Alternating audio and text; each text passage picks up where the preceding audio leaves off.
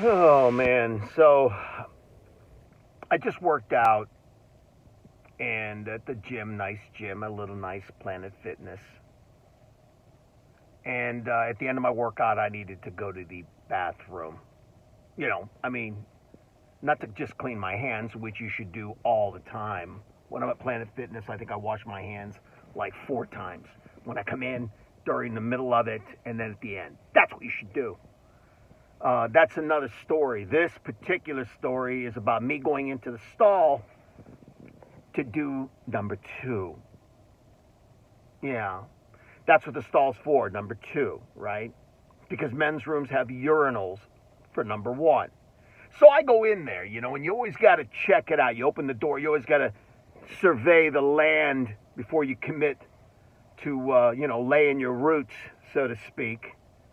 And, uh, there was piss everywhere. There was piss on the toilet seat.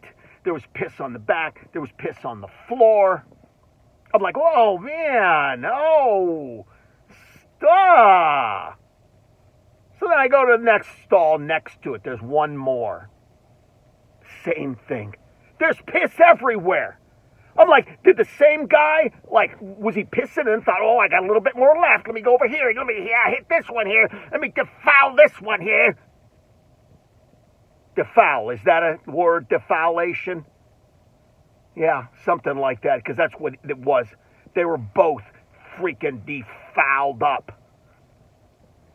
And I don't know. I mean, was or was it was he there with a friend? You know, like his cousin Jimmy. It's like, hey Jimmy, how you doing over there? It's like, oh, I'm good. I'm good. I hosed down the whole back. I got the floor. Oh yeah, me too, man. I got the floor. I'm doing the toilet paper now. Oh yeah. Oh yeah disgusting. That's what the urinals are for. You can wait. You're a big boy. Just wait.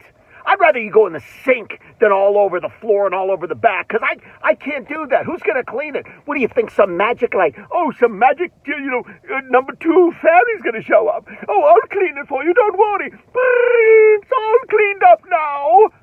Someone's got to clean that mess up, you inconsiderate pricks. Oh.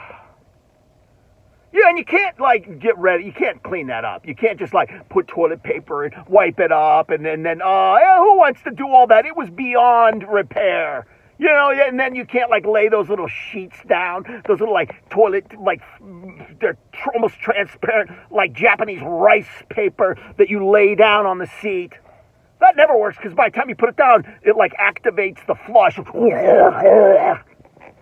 So you never get it on, or it goes in between, or you sit down, you can feel your stuff touching the rim. It was disgusting.